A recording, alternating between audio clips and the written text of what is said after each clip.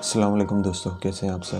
امید ہے آپ سب ٹھیک ٹھاک ہوں گے۔ اچھا جو آج کا ہمارا ٹاپک ہے، وہ ہے ڈی اے ای کے حوالے سے۔ D A E stand for diploma of state engineering تو ڈپلوما آف اسٹیٹ انجینئرنگ میں ڈفرینٹ ٹیکنالوجیز آ جاتی ہیں آپ کے پاس۔ یہاں پہ آپ کے پاس الیکٹریکل ٹیکنالوجی آ جاتی ہے الیکٹرانکس ٹیکنالوجی اس کے بعد آپ کے پاس بایو میڈیکل ٹیکنالوجی اس کے بعد آپ کے پاس سول ٹیکنالوجی مکینیکل ٹیکنالوجی یہ وہ ٹیکنالوجیز میں آپ کو بتا رہا ہوں جو پاکستان میں ویل ناؤن ہے یہاں پہ چل رہی ہیں۔ اور یہاں پہ اسٹوڈنٹ جو ہے انٹرسٹڈ ہیں یہاں پہ ان ٹیکنالوجیز میں ایڈمیشن لینے کے لیے۔ ایجوکیشن پلس میرا جو ورکنگ ایکسپیرینس ہے، اس کے لیے آپ میں اس کو کمبائن کر کے میں یہ بتاؤں گا کہ نیو میٹرک کے جو لڑکے ہیں، جو میٹرک سے پاس آؤٹ ہوتے ہیں، ان کے لیے ڈی اے ای اگر وہ سلیکٹ کرتے ہیں تو اس میں کیا کیا جو جو جو اس کی ٹیکنالوجیز ہیں ڈفرینٹ تو اس میں سے اس کو کیا سلیکٹ کرنا چاہیے جو اس کے لیے زیادہ ہیلپ فل ہوگا۔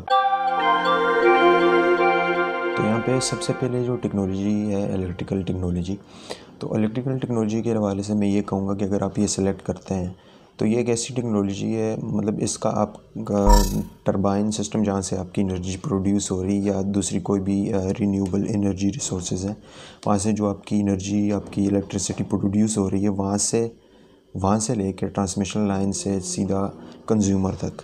یہ سارا ایریا الیکٹریکل انجینئر کور کرتا ہے۔ اس کے علاوہ اس کے، اس تھرو آؤٹ اس پروسیس میں جو بھی اکوپمنٹس جو بھی الیکٹریکل مشینری یوز ہوتی ہے، اس کی مینوفیکچرنگ میں بھی الیکٹریکل انجینئر انوالو رہتا ہے۔ تو یہ فیلڈ اس میں کیونکہ ڈی اے ای میں زیادہ تر جو لڑکے جاتے ہیں، نیو کمر جاتے ہیں، تو وہ اکثر ان کو اتنی دوسری ٹیکنالوجیز کا اتنا زیادہ اویئرنیس نہیں ہوتی، تو وہ میکسیمم اسی ٹیکنالوجی میں جاتے ہیں۔ دوسری ٹیکنالوجی یہاں پہ الیکٹرانکس ہے۔ الیکٹرانکس میں اپنے پوائنٹ آف ویو سے کہوں، اپنے پرسیپشن سے کہوں، تو بیسٹ ٹیکنالوجی ہے۔ کیونکہ یہ ایسی ٹیکنالوجی ہے جو الیکٹریکل اور پلس آپ کے بایو میڈیکل اور پلس آپ کی کمپیوٹر سائنس اور آئی ٹی کی فیلڈ کو بھی ٹچ کرتی ہے۔ مثال کے طور پہ اگر آپ الیکٹرانکس میں ہو تو آپ الیکٹریکل کام بھی جانتے ہو اور وہاں پہ بھی آپ، اس فیلڈ میں بھی آپ جا سکتے ہو یعنی الیکٹریکل کو بھی ٹچ کر سکتے ہو۔ اس کے بعد آپ بایو میڈیکل جو فیلڈ ہے، جس کے بارے میں میں آگے بتاؤں گا، اس کو بھی آپ ٹچ کر سکتے ہو۔ اور اس کے علاوہ کمپیوٹر کمپیوٹر کی ریلیٹڈ جو فیلڈ فیلڈ ہے ان کو بھی آپ الیکٹرانکس میں رہ کے ٹچ کر سکتے ہیں۔ تو یعنی یہ بہت ڈائیورس فیلڈ ہے۔ تو اس میں آپ جائیں اور میرے پوائنٹ آف ویو سے یہ میری پرسیپشن ہے۔ تو میں اس کو ٹاپ پہ رکھتا ہوں سب ٹیکنالوجیز میں۔ ڈپلوما آف اسٹیٹ انجینئرنگ کے حوالے سے۔ تو الیکٹرانکس میری بیسٹ چوائس ہے۔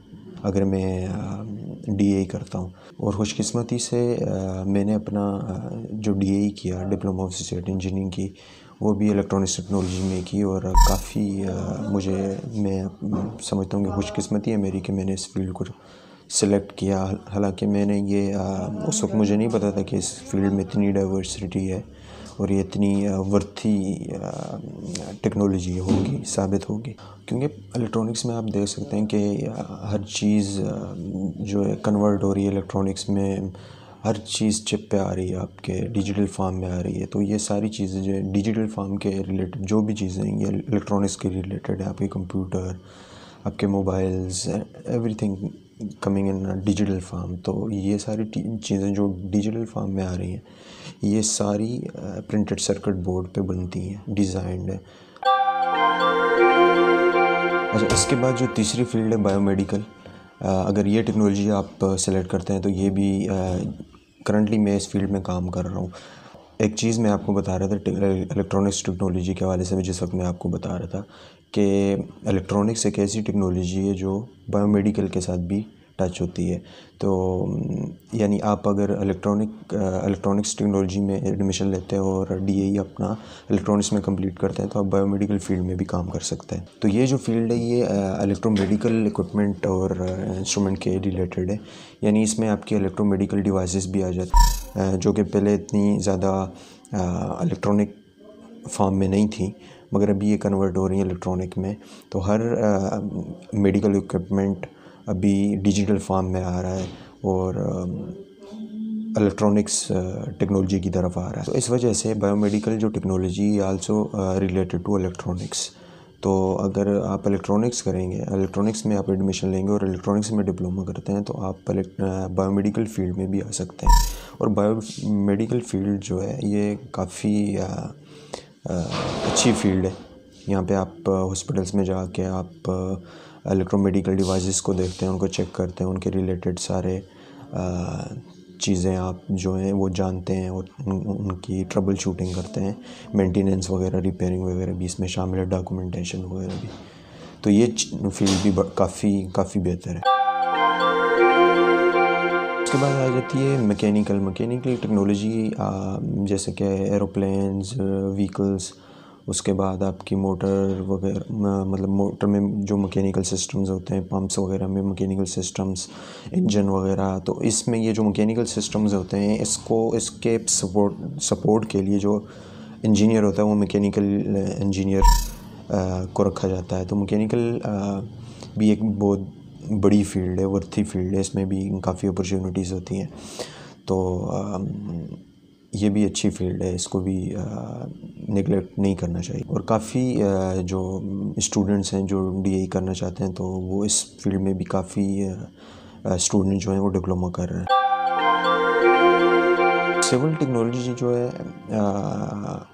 اٹس آل اباؤٹ کنسٹرکشن اور کنسٹرکشن میں آپ کا آ جاتا ہے بلڈنگس کی کنسٹرکشن کے حوالے سے مٹیریل کی اسٹیمیٹ کے حوالے سے، اس کے بعد اس کے سروے کے حوالے سے، اور آپ اس کی، آپ اس کا ڈیزائن بناتے ہیں فیلڈ پہ جا کے کام کرتا ہے کنسٹرکشن سائٹس پہ جا کے کام کام کرتا ہے۔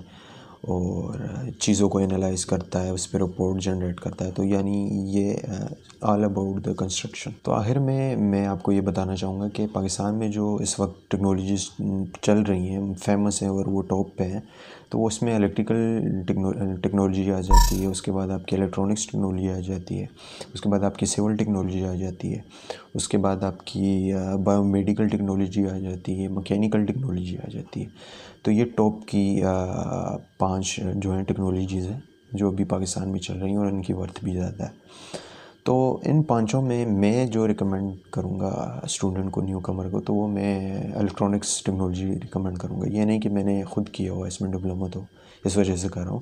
مگر یہ میں اس لیے کر رہا ہوں کہ یہ میں نے اس کو ایکسپیرینس کیا ہے کہ یہ جو فیلڈ ہے، یہ آپ کی الیکٹریکل کو بھی الیکٹریکل ٹیکنالوجی کو بھی کور کر رہی ہے اور اس کے ساتھ ساتھ آپ کی بایو میڈیکل ٹیکنالوجی کو بھی کور کر رہی ہے. اس کے بعد اگر آپ کمپیوٹر سائنسز کی طرف، آئی ٹی کی طرف جاتے ہیں، تو اس کو، اس میں بھی آپ کی، آپ کے لیے ہیلپ فل رہے گی۔ یعنی اب اگر آپ آگے جا کے بیچلر کرنا چاہتے ہیں بی ایس کرنا چاہتے ہیں آئی ٹی میں یا کمپیوٹر سائنسز میں، تو یا بایو میڈیکل میں یا الیکٹریکل میں، تو وہ آپ کے لیے ہیلپ فل ہے۔ یعنی اس میں ڈائیورسٹی بہت زیادہ ہے، اور ٹیکنالوجیز کی نسبت۔ تو میں الیکٹرانکس ریکمینڈ کروں گا اسٹوڈنٹس کو کہ وہ سلیکٹ کریں۔ اس کے بعد میں بایو میڈیکل ریکمینڈ کروں گا اور اس کے بعد میں سول ریکمینڈ کروں گا۔ تو دوستو یہ کچھ ڈسکشن تھی۔ میں چاہ رہا تھا کہ ڈی اے کے حوالے سے نیو اسٹوڈنٹ کے لیے کافی ہیلپ فل رہے گی یہ ڈسکشن میری۔ تو اگر وہ ایڈمیشن لینا چاہتے ہیں اپنے matric with science matric science میں ہونی چاہیے۔ اس کے بعد اگر وہ ڈپلومے کی طرف آنا چاہتے ہیں یعنی ڈپلوما وتھ اسٹیٹ انجینئرنگ کی طرف آنا چاہتے ہیں تو یہ ایک بیک گراؤنڈ میں نے دیا ہے ان کو کہ یہ میں اپنے ایکسپیرینس سے، اپنے جاب ایکسپیرینس سے اور اپنے اسٹڈی کا بیک گراؤنڈ جو ہے میرا، اس کو کمبائن کر کے میں یہ آپ کو بتا رہا ہوں کہ یہ یہ فیلڈز جو ہیں، یہ اس حساب سے میں اپنے پوائنٹ آف ویو کے حساب سے اس طرح ریکمینڈ کروں گا آپ کو۔ تو دوستو، میری آج کی ویڈیو یہاں پہ میں ختم کرتا ہوں۔ امید ہے کہ یہ نیو اسٹوڈنٹس کے لیے اپ کمنگ اسٹوڈنٹس کے لیے جو میٹرک سے ریسنٹلی فری ہوئے ہیں یا ہوں گے ان فیوچر تو ان کے لیے بڑی ہیلپ فل ہوگی کہ وہ آگے جا کے اگر ڈپلومے کو وہ سلیکٹ کرتے ہیں ڈپلوما آف اسٹیٹ انجینئرنگ کو، تو ان کو کون سی ٹیکنالوجی سلیکٹ کرنی چاہیے۔ تو اوکے دوستو نیکسٹ ویڈیو میں ملتے ہیں۔ آپ کے ساتھ خوش رہیں، خوش رکھیں۔ اللہ حافظ۔